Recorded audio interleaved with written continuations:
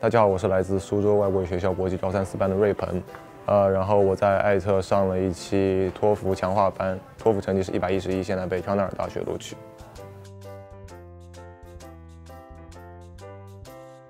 呃，我和康奈尔大学的话，第一次去康奈尔大学是在高一探校的时候，当时我就觉得，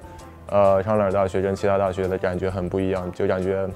很符合我的品味，呃，然后它就是跟其他，比如说哈佛、耶鲁、常青藤大学。有点不太一样，那些比较像旅游景点，康奈尔更像是个学习的地方。同时的话，它是在呃伊萨卡这个城市里面，是一个非常宁静的小镇。呃，康奈尔大学的话是坐落在一座小山上面，我也非常喜欢康奈尔大学这种亲近自然的这么一种感觉。同时的话，我也对地理比较感兴趣，所以的话，我觉得这也是为什么我选择康奈尔大学作为我异地的原因。呃，我在艾特的话是上了一期托福的强化班，然后的话也要特别感谢艾特，因为的话，在此之前的话就是其实我是对托福这方面真的是一窍不通的，然后在艾特的话就是我知道了很多，呃，托福的整个基本构架、基本的答题思路这么样的一些东西。然后如果真的要说托福的备考和考试的经验的话，我觉得，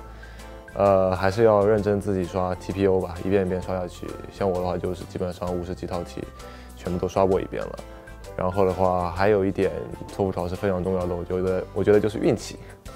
嗯，对，有的时候就是运气也很重要吧。然后关于运气这一点，我只能说大家考试的时候就表现的自信一点。然后自信自信的人一般运气都不会差嘛。然后在西交利物浦考试的同学的话，可以提前一点去考试，然后抢一个吉利一点的柜子号码，什么一百一十啊、一百一十五、一百二都可以的，我觉得特别灵。然后的话。我也要，我想，我也想特别感谢一下艾特的陈静老师吧。呃，就是因为在去艾特上托福之前的话，那个在学校里老师一直说作文是我的短板，但是就是其实就是在艾特，在陈静老师教授了我作文课之后，然后也几次托福考试考下来，发现不但作文不是最差，还是最好的，永远都是发挥最稳定的那一门。所以我相信那个呃陈静老师的话也教给了我很多写作的一些基本的。套路啦，技巧啦，如何快速的写完，然后并且可以那个呃得到高分吧，所以很感谢陈静老师。呃，如果用一个词来形容的话，我会用“靠谱”这个词。嗯，首先第一方面就是平时我的同学还有老师都会用喜欢用这个词来形容我，然后我觉得我自己也嗯可以配得上这个形容词吧，就是靠谱。它的含义的话就是。